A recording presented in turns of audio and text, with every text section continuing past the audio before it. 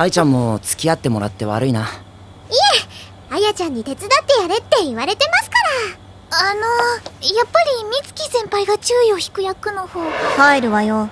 ああ分かった。栗山さん頑張って。わかりました。あ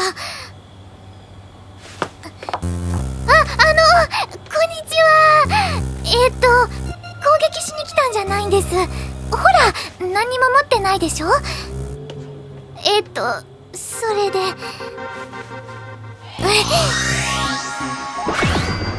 見てる見てる。栗山さん。はい。えっ、と。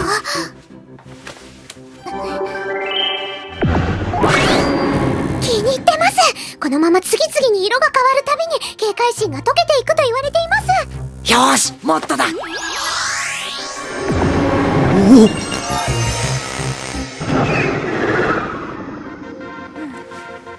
そろそろ良さそうね。行け焼き芋。